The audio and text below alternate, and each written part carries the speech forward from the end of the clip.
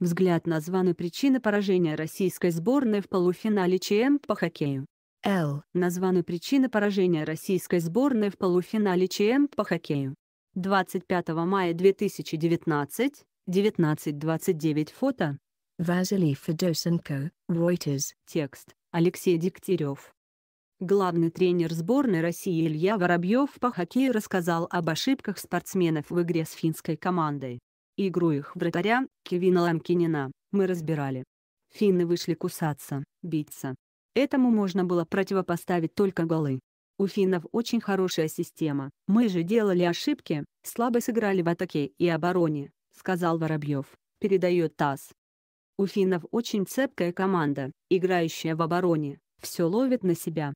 Американцы талантливая быстрая команда, которая в атаке хотела играть, сравнил тренер финскую и американскую сборную. Он добавил, что сборная вскоре настроится на матч за бронзовые медали, который предстоит сыграть в воскресенье. По мнению бывшего главного тренера сборной России, ныне тренирующего московское «Динамо» Владимира Крикунова, российская сборная по хоккею проиграла в полуфинале чемпионата мира финнам, так как не смогла пробить глухую оборону противника.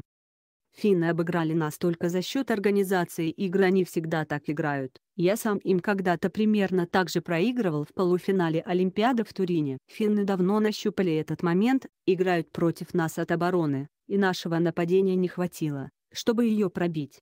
Надо было заставлять финнов идти в атаку, а они играли плотно, все закрыли перед воротами, отдав нам углы. «Мы бросаем с флангов, там вратарь», — рассказал Крикунов. Он добавил, что российская команда сыграла тактически неграмотно, спортсменам не хватило мощи. Во втором периоде наша игра просела на 20%, и счет 0-2.1 это результат того, что наши нападающие попали в глухую оборону соперника, отметил эксперт. Крикунов отметил, что лучшим вариантом для сборной России была бы встреча за третье место с канадцами, несмотря на то, что те очень схожи по игре на сборную Чехии. Но наши ребята после сегодняшнего, скорее всего, будут морально опустошены. Все ехали в Словакию за золотом. И если соперником будет сборная Канады, наша сборная лучше соберется к этому матчу, пояснил Крикунов. Министр спорта Павел Колобков признался, что расстроился из-за проигрыша российской команды. Наши ребята весь чемпионат мира показывали красивый хоккей, прекрасно выглядели во всех матчах, но сегодня финны были сильнее, Уверен, что завтра сборная России в матче за бронзу покажет яркую игру, сказал министр, передает РИА Новости. Напомним, российская сборная по хоккею проиграла команде Финляндии в полуфинале чемпионата мира со счетом 0-2.1.